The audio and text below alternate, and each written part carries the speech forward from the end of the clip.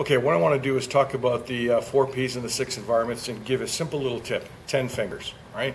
So each one of these fingers represents something. In my case, this one doesn't work any good because 30 years ago when I was in uh, Japan, I broke it, so it doesn't work quite straight. These two I broke on my motorcycle 10 years ago.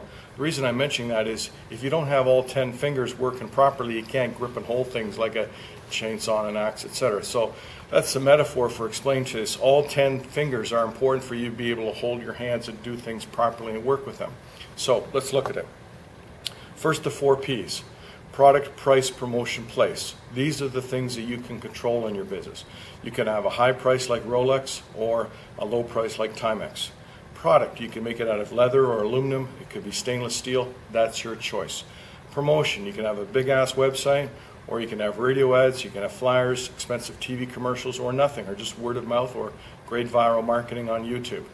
And place, you can have a few locations like Krispy Kreme or many locations like Tim Hortons. That's your choice. So the four P's are the things that you can control.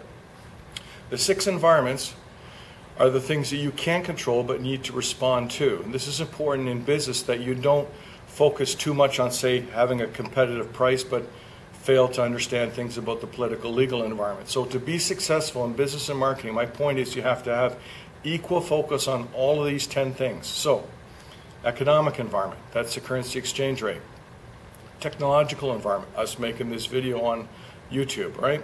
You have the political, legal, regulatory environment. You also have the competitive environment, and you have the geographic environment, and what else do you have? The social, cultural environment. So those are the six environments that influence business, and you have to respond to those changes. For example, the political environment is laws, rules, regulations. So if you spend all your time thinking about the competition, but didn't understand how a government rule and regulation is going to affect your ability to collect tax on behalf of your clients or other types of things related to um, housing circumstances or so on, then you'd be ignorant of that.